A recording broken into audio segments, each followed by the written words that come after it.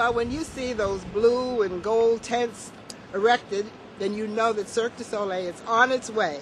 Yes, it's going to be open and it's going to be here at Broad and Washington in South Philadelphia for at least a month and a half, so you have no excuse for missing it.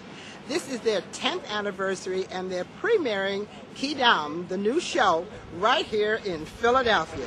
So what does the tour manager do? You the, the buck stops here. You take care of everything. I'm the yeah the buck stops here to, to quote the mayor of Vancouver when we were there. I'm the mayor of my own little village, since we uh, we pretty much provide everything on our own uh, except for water and sewer, which is what we rely on the city for. So we have our own power, our own kitchen, our own school, the show, our own training facilities. So I'm kind of the mayor of our little uh, our little village here. A couple of things that you said are very interesting. You said training, first of all. When do you start? When do you start putting your, this year together?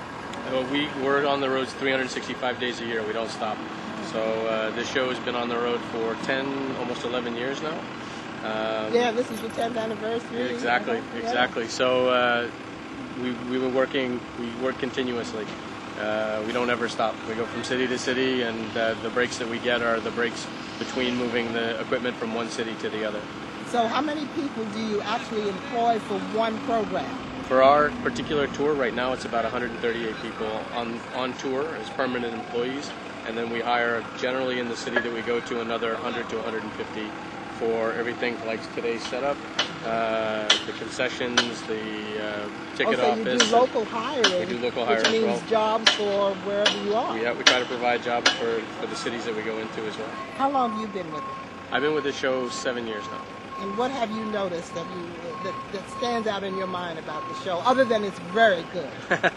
Uh, it's, it's an emotional show. It really touches you. I've, I see it almost uh, four or five times a week, um, and I'm always touched by it every time I see it.